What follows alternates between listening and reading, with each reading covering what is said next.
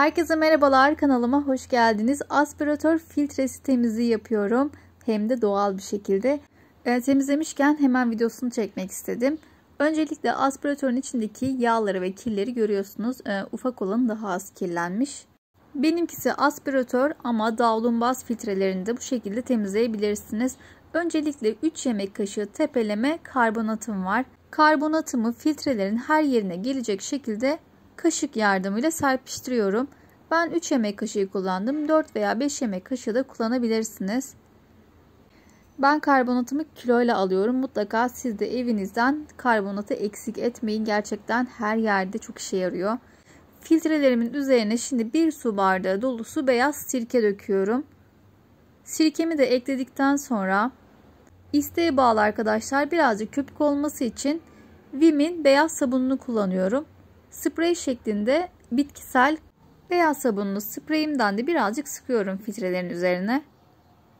Son olarak da kaynar su ekliyorum ve bir 5 dakika ocakta kaynatacağım.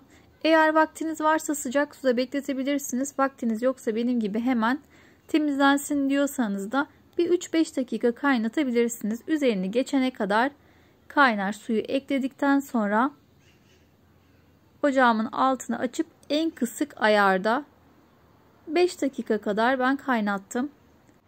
Ara ara çevirerek kaynar suyun her yerine eşit şekilde temas etmesini sağladım. Eğer davlumbazınız çok aşırı kirli ise daha fazla da tabii ki kaynatabilirsiniz. Biraz da kullanmadığım diş fırçasıyla fırçalıyorum. Süngerle de yapabilirsiniz. Bazı yerler çünkü inatçı ekstra bir güç gerektiriyor.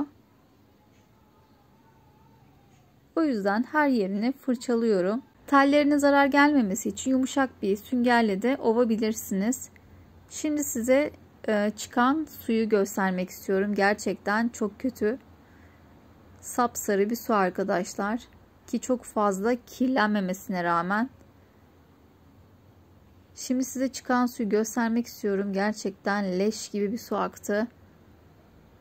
Son olarak aspiratör filtrelerini de sudan geçirerek kurumaya bırakıyorum. Kesinlikle sulu bir şekilde ıslak takmayın arkadaşlar.